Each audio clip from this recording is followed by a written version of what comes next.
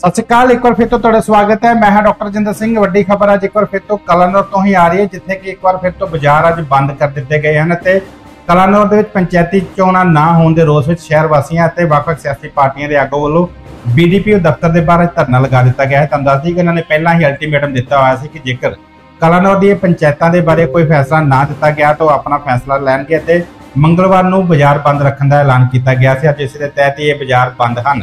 ਤੁਹਾਨੂੰ ਇਹ ਦੱਸ ਦਈਏ ਕਿ ਉਧਰ ਬੀਡੀਪੀਓ ਨੇ ਕਿਹਾ ਹੈ ਕਿ ਕਲਾਨੌਰ ਦੇ ਵਿੱਚ ਵੋਟਰ ਸੂਚੀਆਂ ਤਿਆਰ ਨਾ ਹੋਣ ਕਰਕੇ ਹੀ ਜੋ ਪੰਚਾਇਤਾਂ ਹਨ, ਇੱਥੋਂ ਦੀਆਂ 6 ਪੰਚਾਇਤਾਂ ਹਨ, ਉਹਨਾਂ ਦੀਆਂ ਵੋਟਾਂ ਅੱਗੇ ਪੈ ਸਕਦੀਆਂ ਹਨ। ਇਸ ਕਰਕੇ ਹੀ ਲੋਕਾਂ ਦੇ ਵੱਲੋਂ ਇਸ ਦਾ ਵਿਰੋਧ ਕੀਤਾ ਜਾ ਰਿਹਾ ਹੈ।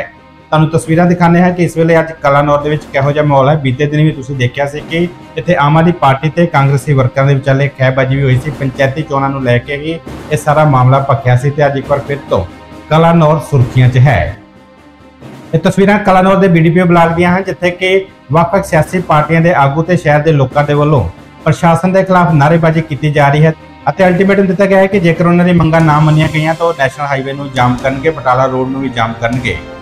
ਬੀਡੀਪੀ ਕਲਾਨੌਰ! ਮੁਰਦਾਬਾਦ! ਬੀਡੀਪੀ ਕਲਾਨੌਰ! ਮੁਰਦਾਬਾਦ!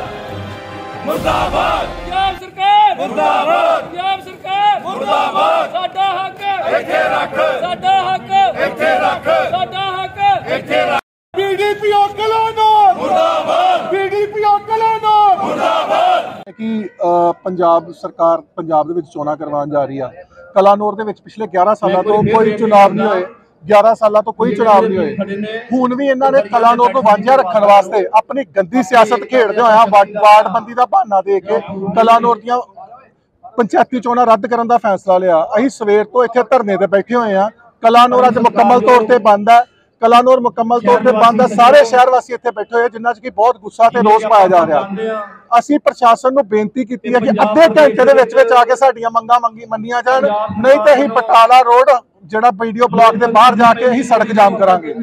ਔਰ ਇਸ ਦਾ ਸਿੱਧੇ ਤੌਰ ਤੇ ਜ਼ਿੰਮੇਵਾਰ ਪ੍ਰਸ਼ਾਸਨ ਖੁਦ ਆਪ ਹੋਏਗਾ ਕਿਉਂਕਿ ਇਹ ਕਲਾਨੌਰ ਦੇ ਵਿੱਚ ਧੱਕੇਸ਼ਾਹੀ ਪਿਛਲੇ ਲੰਬੇ ਸਮੇਂ ਤੋਂ ਚੱਲੀ ਚੱਲ ਰਹੀ ਆ ਕਿਉਂਕਿ ਇੱਥੋਂ ਦੀ ਪੰਚਾਇਤ ਦਾ ਖਰਚਾ ਜੋ ਵੀ ਸੋਰਸਿਸ ਨੇ ਉਹ ਸਾਰੇ ਦੇ ਸਾਰੇ ਇਹ ਮਲੀਆਮੇਟ ਕਰਦੇ ਪਏ ਨੇ ਇੱਥੋਂ ਦੇ ਫੰਡਸ ਜਿਹੜੇ ਨੇ ਉਹਦਾ ਮਿਸਯੂਜ਼ ਕਰਦੇ ਪਏ ਨੇ। ਇਹ ਚਾਹੁੰਦੇ ਹੀ ਨਹੀਂ ਇਹ ਚਾਹੁੰਦੇ ਹੀ ਨਹੀਂ ਕਿ ਇੱਥੇ ਪੰਚਾਇਤ ਦੀ ਚੋਣ ਚੋਣ ਹੋਏ। ਇਹ ਇਹਨਾਂ ਦੀ ਗੰਦੀ ਸਿਆਸਤ ਦਾ ਹਿੱਸਾ ਇਹਨਾਂ ਦੇ ਕੰਨ ਖੋਲਣ ਲਈ ਸਾਨੂੰ ਜੋ ਵੀ ਕਰਨਾ ਪਏਗਾ ਜੋ ਵੀ ਸਾਨੂੰ ਕੜੇ ਤੋਂ ਕੜੇ ਕਦਮ ਉਠਾਣੇ ਪੈਣਗੇ ਉਹ ਉਠਾਵਾਂਗੇ ਤੇ ਸਰਕਾਰ ਦੇ ਕੰਨ ਖੋਲਾਂਗੇ।